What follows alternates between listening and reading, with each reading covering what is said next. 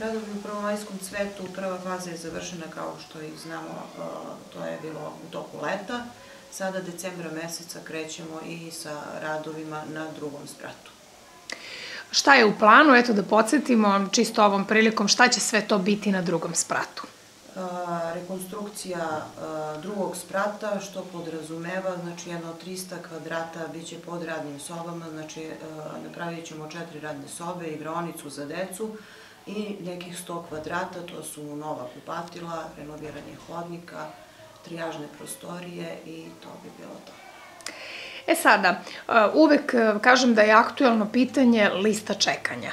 Da li se od našeg poslednjeg razgovora nešto promenilo? Pa jeste, ja uvek kažem, uh, ne mora da znači april da je samo taj period za upis dece u preškolsku ustanovu, Mi u toku godine isto upisujemo decu, primili smo i preko tog broja koji smo imali aprila meseca posle upisa, možda još jedno tridesetak deteta. Lista se polako smanjuje, ali naravno lista će i dalje da postoji.